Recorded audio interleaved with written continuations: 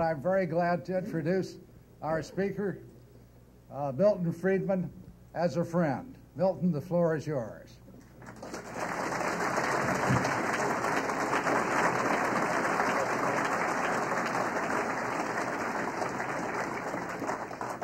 Thank you, Bill. I'm going to talk about the economics of medical care.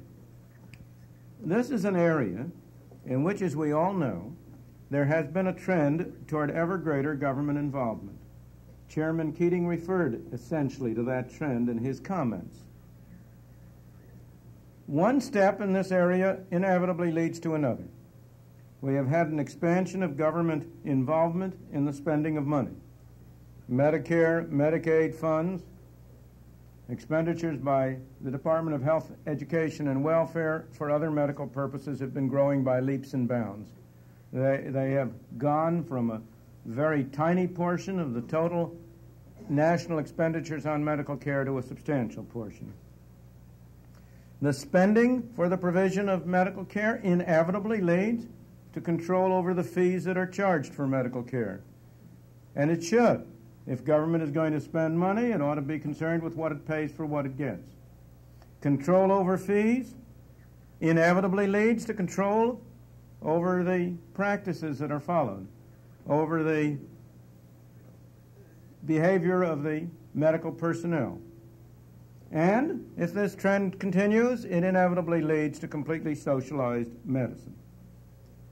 I believe that this trend including many of the steps that have already been taken, is very much against the interests of patients, of physicians, and of other healthcare personnel. And in the brief time I have available today, I want to explain why I believe the trend has, is so much against their interests, why it has occurred, and what, if anything, can be done about it. The trend toward increasing government involvement in healthcare is not an isolated phenomenon. It is not restricted to health care. It is part of a general trend in our society toward replacing voluntary free market arrangements by government control and regulation. It is a trend that is happening, happening all over. It has happened in one industry after another. There is nothing special in this respect about the move to replacing private voluntary medical arrangements with compulsory governmental arrangements. This movement in the medical care field is not special in another sense. In industry after industry, producers who protest most strongly their belief in free markets have fostered and helped produce government takeover, government regulation, government control. The er, oldest case of this, the historical case, was in the railroad industry, where the railroad entrepreneurs helped to foster upon us the Interstate Commerce Commission and all that followed. The same thing has been true in every other area. Most recently, the steel industry, which talks so loudly of its belief in free enterprise, has been strongly in favor of government restrictions on imports, in favor of tariffs, and the like. In medicine, the same process has been at work. Indeed, I would say that it is particularly true in medicine. A large part of the pressure for socialized medicine in the United States, in my opinion, and I may say this is not merely opinion, it is based on a considerable examination of the evidence, a large part of the pressure has derived from the policies which have been followed over the decades by the American Medical Association policies which were adopted in the name of improving medical care. Policies which I have no doubt that the leaders of medicine regarded as desirable for improving medical care. But policies which have in, in practice had the effect of restricting entry into medicine, holding down both the quantity and the quality of medical care, and inhibiting the most efficient modes of providing and distributing medical care. There have been great there has been great progress in the provision of medical care in the United States. It has been a great achievement, but it's been an achievement despite many of the best efforts of the American Medical Association, not because of it. This is a particularly appropriate place to illustrate my point. Because the Mayo Clinic is a shining example of how medical care might have developed in the United States if it had not been for the power of organized medicine. The Mayo Clinic started, as you all know, in the late part of the 19th century or the early part of the 20th century. The exact dating is a question of dispute. But the important point is that it started before 1910. 1910 was a year in which there appeared the famous Flexner Report, Abraham Flexner's report on American medical schools, which provided the basis for an enormous expansion in the power and the control which organized medicine was able to exercise over medical education and over medical practice. That power was used effectively in the 1920s and the 1930s and later to hamper at every turn the kind of group practice that Mayo Clinic is so successful at. I venture to predict that if the brothers Mayo had tried to organize the clinic and its practice as they did in the 1920s or 30s, I doubt very much that anything comparable to the Mayo Clinic could ever have developed or been achieved. If you look at the num- numerous examples around the country of a similar, similar attempts, a few managed to survive. The Roos Clinic, many of you know about the case of Washington Group Health, which brought an antitrust suit against the American Medical Association, which it won. Very few occasions have groups of physicians who wish to practice jointly, and particularly in a slightly different arrangement than Mayo's with prepaid care, they had enormous difficulty in getting established because of the concerted opposition of the American Medical Association. This is not the place or the time to explain either why organized medicine took this approach. It was because of certain features of individual practice that no longer are important, in particular, the sliding scale which has disappeared with the emergence of insurance on a wide scale. But whatever the reason, the effects were, are clear. In my opinion, if the American Medical Association had not exercised the monopoly power which it did over a long period of time, American medicine would have developed very differently than it in fact has. It would have developed, in my opinion, primarily through organizations such as the Mayo Clinic through joint teams of hospitals and physicians, and I believe that that would have provided more adequate and more inexpensive and higher quality medical care to the American people. To begin with, a greater involvement of government in medicine may seem to serve the interests of at least the purveyors of medical care by providing an additional source of finance. This is a honey that has led persons in industry after industry to support and promote governmental involvement, which has reacted ultimately against them.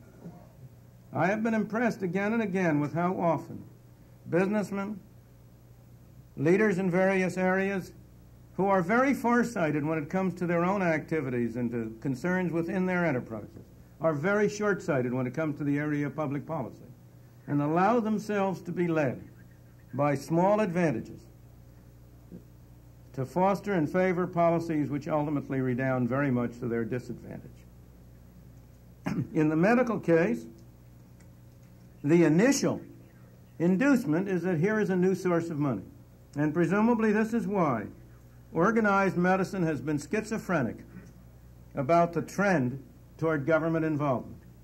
It has, on the one hand, tended to protest against the move toward socialized medicine. It has, on the other hand, engaged in activities which have promoted that development.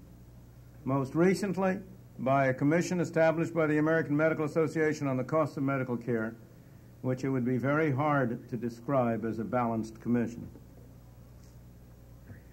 But although initially it might appear as if the purveyors of medical care could get additional resources by tapping the governmental till, that is a transitory phenomenon. As the, when the government is taking over any activity, there is more money available.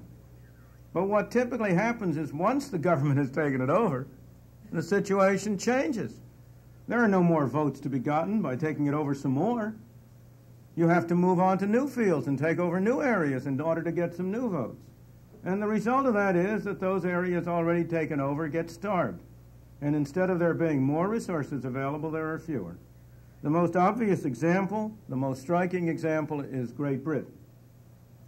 As you know, national medicine, socialized medicine, was introduced in Britain immediately after World War II. It is now some 30 years old.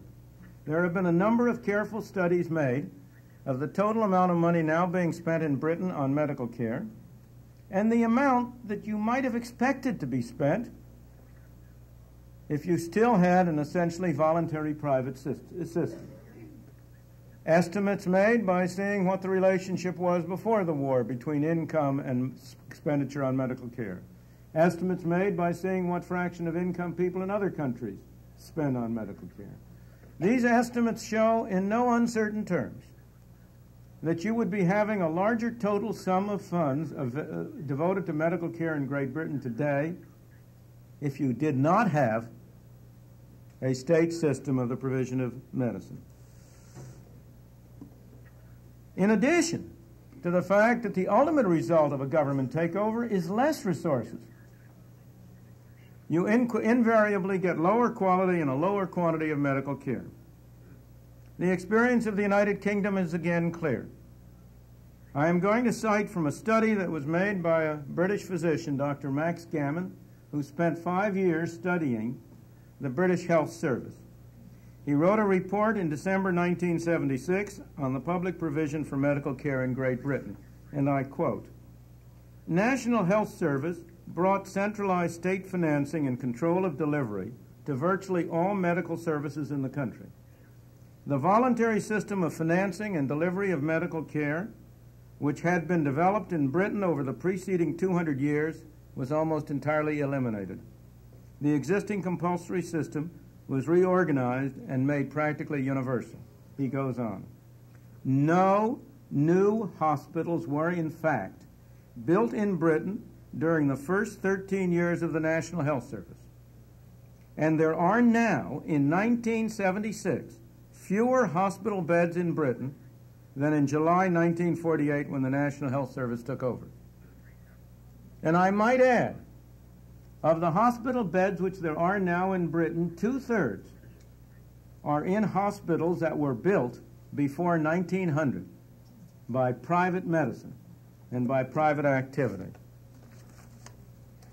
Mr. Gammon, in a rather amusing way, developed what he called a theory of bureaucratic displacement. He argued that whenever you have any organization taken over by a bureaucracy like a government, what tends to happen is that input goes up and output goes down. That useless work tends to displace useful work in a further extension of Parkinson's laws. And he illustrated it with hospital service in the United Kingdom. He took the eight year period from 1965 to 1973. In that eight year period, the hospital staff, the number of people, went up 28%. Incidentally, administrative and clerical help went up 41%. But what about output? What about what they were producing? Input was up. Well, he measured output by the average number of beds occupied daily. It turned out that the average number of beds occupied daily went down by 11%. And he hastened to go on to explain that the decline in the average number of beds occupied was not for want of patients, that at all times there was a waiting list in the neighborhood of 600,000 people waiting for hospital beds. I don't know how many of you know the scandals in Britain about the waiting period for what is regarded as optional or postponable surgery, including, for example, bypass operations for heart problems. There are stories of people who waited three years to have a bypass operation because that could be postponed. Indeed, some of them managed to die before the operation was performed. But 600,000 people waiting on the waiting list, and for rather more readily and more obviously postponable operations, the wait may be much longer than three years. Well, Britain is one case. I might add also that, as you know, physicians have been fleeing Britain when they could. The number of physicians annually emigrating from Great Britain to other countries is about one third the number of physicians being graduated each year from their medical schools. As you also know, the process is inexorably moving in Britain. National Health Service in Britain permitted private practice to, to exist alongside state practice, but to a very limited extent. There is now strong pressure and movement to try to eliminate private practice altogether and make it compulsory that all practice be in, in the socialized sector. On the other side of this, there is growing up a voluntary health insurance arrangement with nursing homes and the like to supplement the inadequate governmental provision. Let me turn to Sweden. I quote from a report by Dr. Gunnar Biörck. Uh, in Minnesota, I should be able to pronounce a Swedish name, but it takes more than physical uh, connection. He was a, he's a professor of medicine at the Karolinska Institute. He's a head of the Department of Medicine at a major hospital in Stockholm. He formerly was, and maybe still is, a physician to the King of Sweden. He gave a paper in 1976 at the University of Chicago on, quote, how to be a clinician in a socialist country. And I quote from his paper It is obvious that the existence of a competing free market constitutes a continuous threat to the operation of a socialist public service, however heavily subsidized by taxpayers' money. The element of quality that derives from patients' personal preference for and confidence in certain doctors cannot easily be done away with so long as people are willing to pay for a free choice of physicians. To do away with such opportunities, therefore, has become a new goal of Swedish healthcare politicians. The introduction of these various regulatory processes has resulted in a cancerous growth in the numbers of medical administrators at all levels of incompetence. The Board of Welfare, I go on quoting, has recently issued a 60 page book trying to describe how to calculate the number of physicians needed to cover the necessary staff of any one clinical department.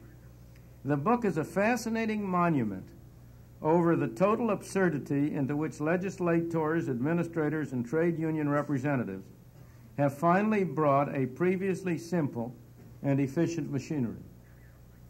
The, the setting in which medicine has been practiced during thousands of years has been one in which the patient has been the client and employer of the physician. Today, the state, in one manifestation or the other, claims to be the employer, and thus the one to prescribe the conditions under which the physician has to carry out his work.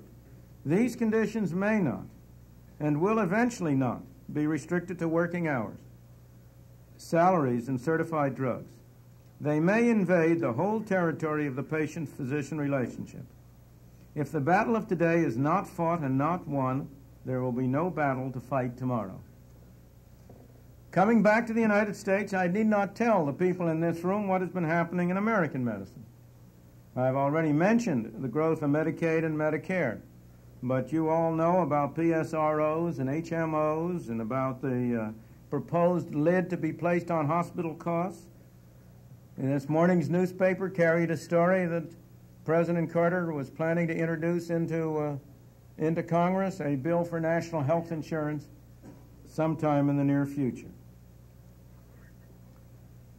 The argument is being made that all of this is necessary because there has somehow been a terrible rise in hospital costs, which the American people either cannot afford or which is, can somehow be eliminated by wise government bureaucrats.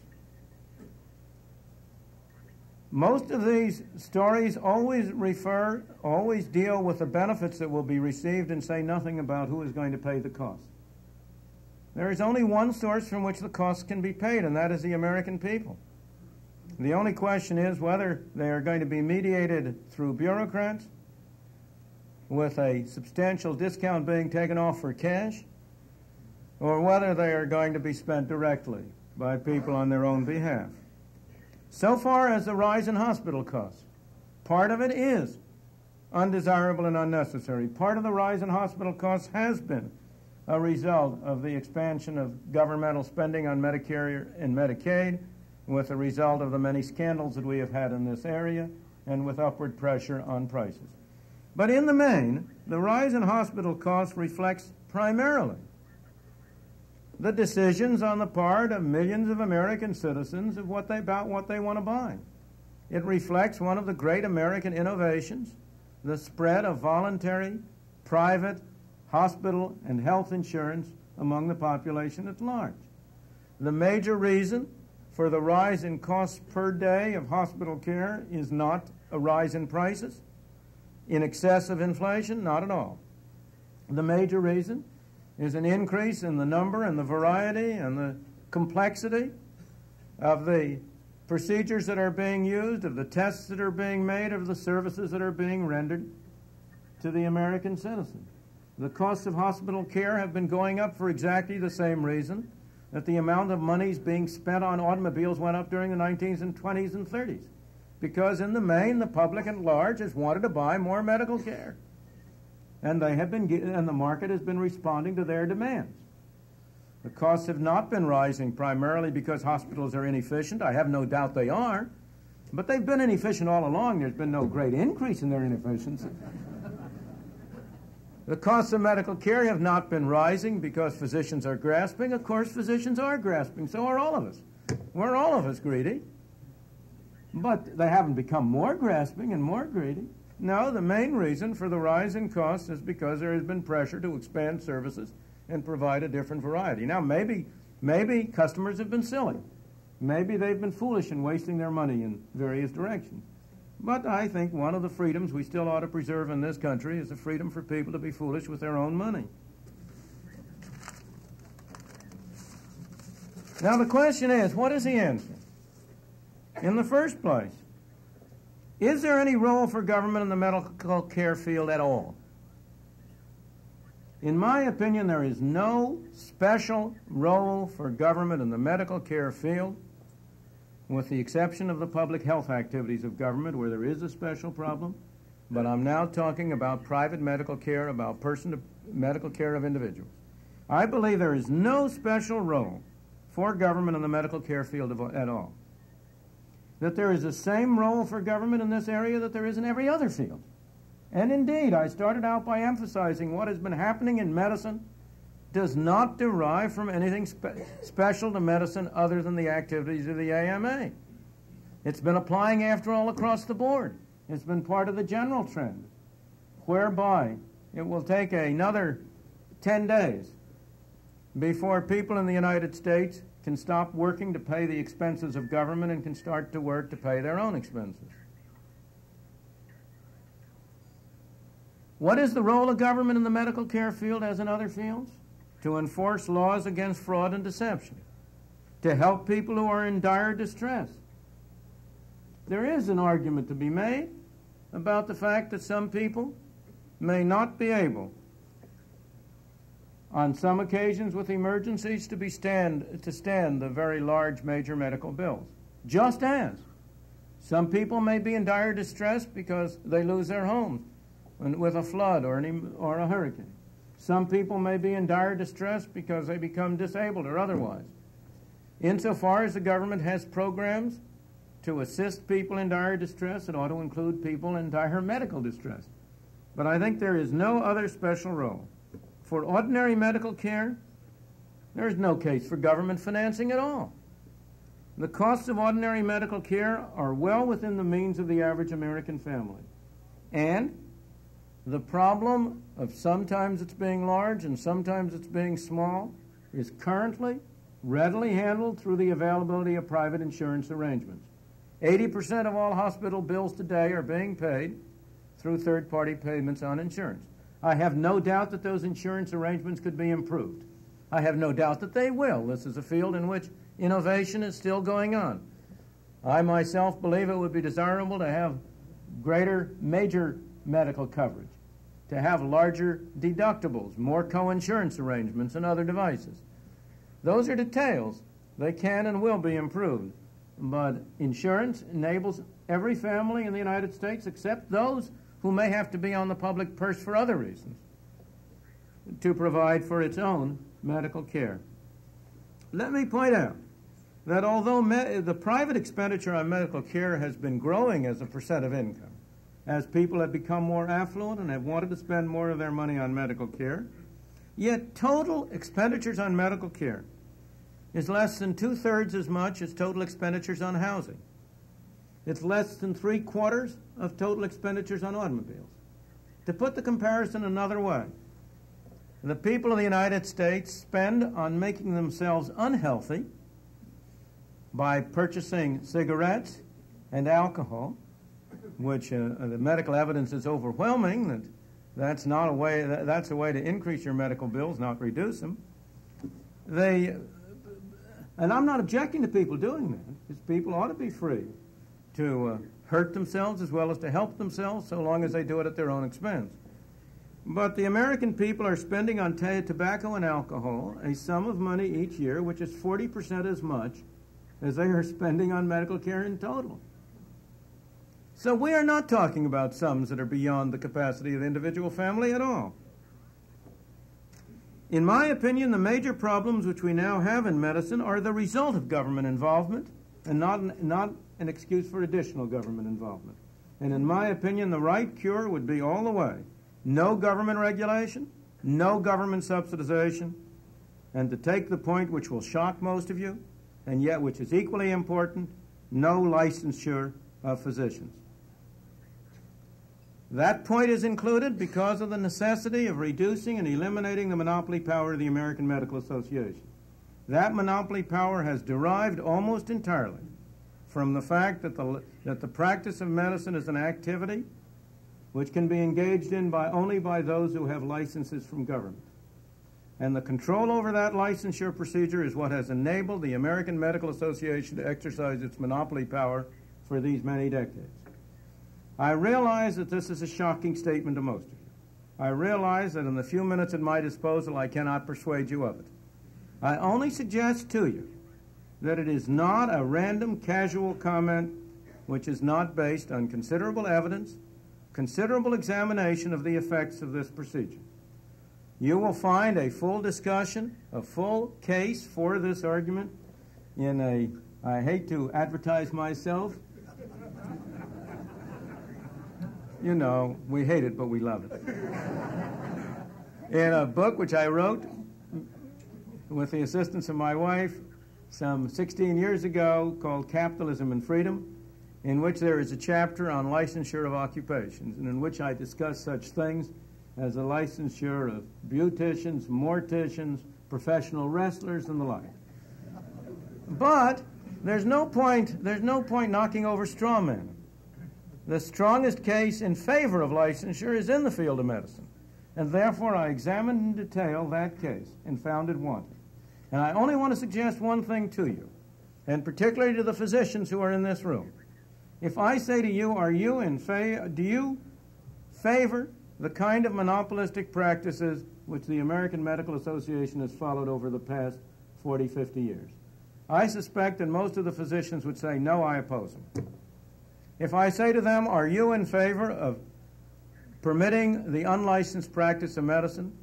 I suspect most of the physicians would say, No, I am not in favor of that. I am opposed to that. I just urge on them that they better choose which of those propositions they want to believe. They cannot believe both, because to believe both is to say that two and two make five. If we continue with the licensure of medical practice, then either government or organized medicine is going to have monopoly power in the field. You cannot have a free, competitive medical field. You cannot have an open field and an elimination of these monopolistic restrictions unless you eliminate the power of government at that crucial element. As I say, I don't seem, I don't expect to persuade you of it. I only want to suggest to you that it is not really as crack-brained and as thoughtless an idea as it might at first appear to you, you to be. That on the contrary, in my opinion, it would provide for better medical care, more widely available, at lower cost for the bulk of the people, and that it would be the only effective way of preventing what seems to be a flood tide toward the complete socialization of medicine. We are facing drastic problems. They will not lend themselves, I guess I have to use medical analogies, they will not lend themselves to band aid solutions. We have to look at the source and the cause of our difficulties. Again, this problem does not stand alone. It stands as part of the general problem that this nation faces. And that is whether we are going to continue down the road to a completely collectivist society in every area, as we have been going for the past 40 years, or whether we are going to take thought and halt that trend. I believe that the public at large, in many areas, is beginning to be more sophisticated about what can be accomplished through government, and that the public opinion is there to back us. I say to people who say we have to have government medicine in there, I say, would you mind first telling me which of the other great reforms of government have achieved their objectives? I take it you mean the federal housing program has solved the problem of housing for the low income groups? I take it you mean that the federal welfare program has solved the problems of welfare and indigence and dependence? That federal urban renewal and housing and, and uh, reconstruction programs have solved the problem of urban blight? Well, the people, after all, are catching up. So I think it is not entirely hopeless that we can stop this march and turn it back. Thank you.